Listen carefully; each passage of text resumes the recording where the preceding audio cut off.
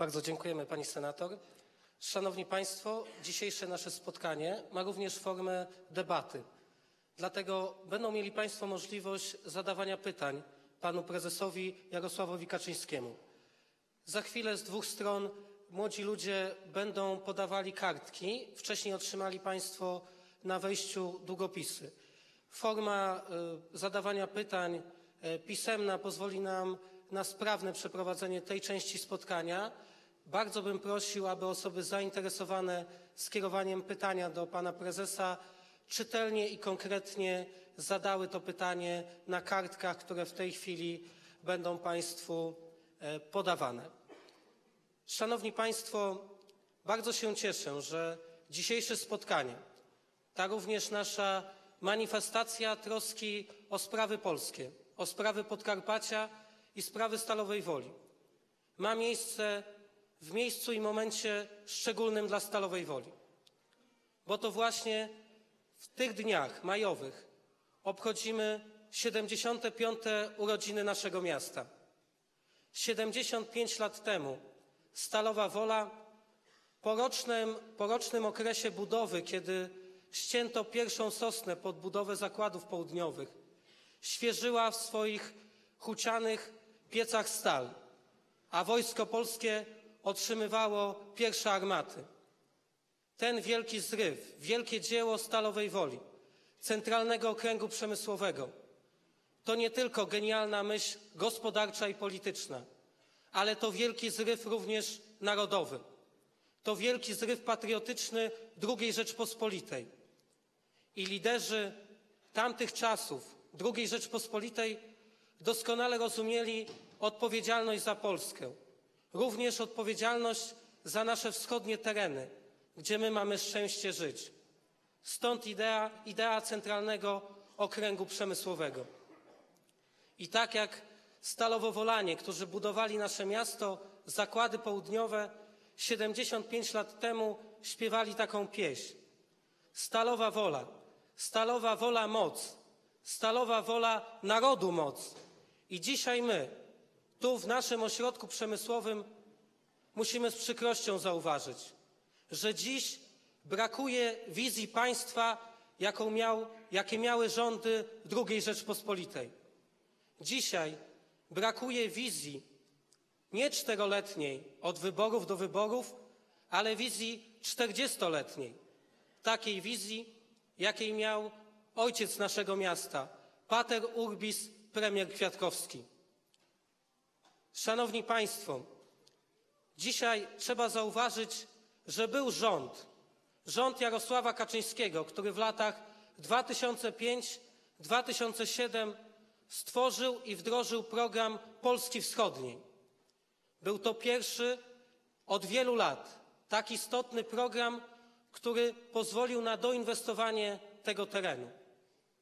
I kiedy często słyszymy od wielu samorządowców krytykę pod adresem Prawa i Sprawiedliwości, to proszę zauważyć, że te same osoby chętnie przecinają wstęgi otwarcia kolejnych inwestycji unijnych, które powstały właśnie z programu Polski Wschodniej.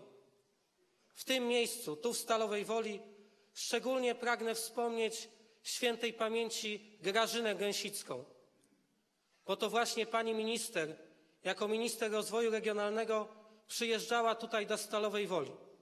Tutaj, widząc potrzebę doinwestowania tego terenu, aby ten teren, łącznie z uczelniami wyższymi i w połączeniu z przemysłem, mógł tworzyć gospodarkę opartą na wiedzy.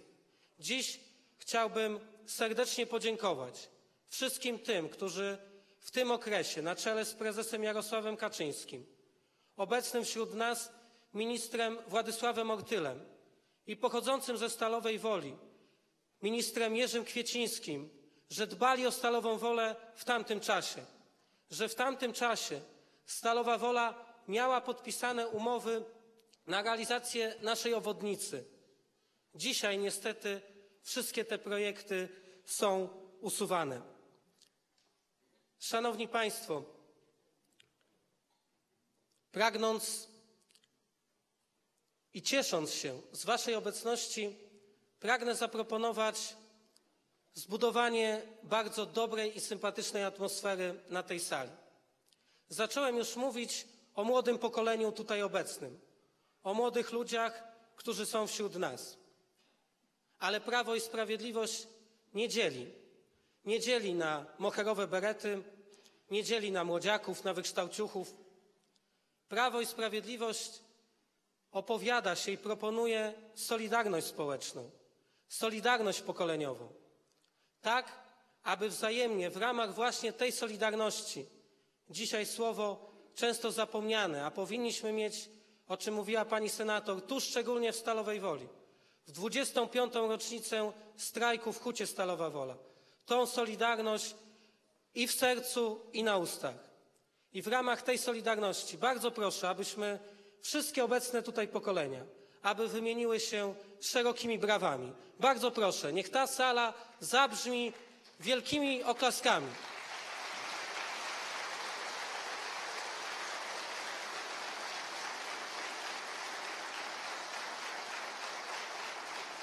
Niech te oklaski, szanowni państwo, będą takim budzikiem.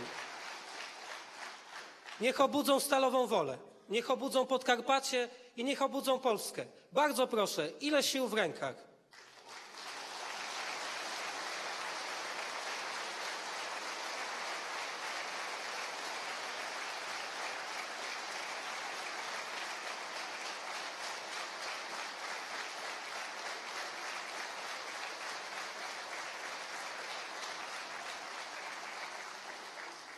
Dziękuję bardzo i proszę, aby Państwo, kiedy wyjdziecie już z tego spotkania, aby te brawa nieść dalej, aby mówić, że w Polsce jest alternatywa. Jest alternatywa dla rządów w samorządach, bo to samorządy często decydują o naszej Polsce. Ale jest również alternatywa dla rządów Platformy Obywatelskiej i Polskiego Stronnictwa Ludowego, że jest Prawo i Sprawiedliwość, który ma dobry, merytoryczny program dla Polski.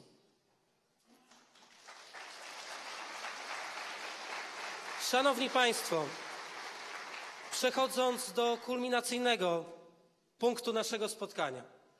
Tutaj w Stalowej Woli, w 75.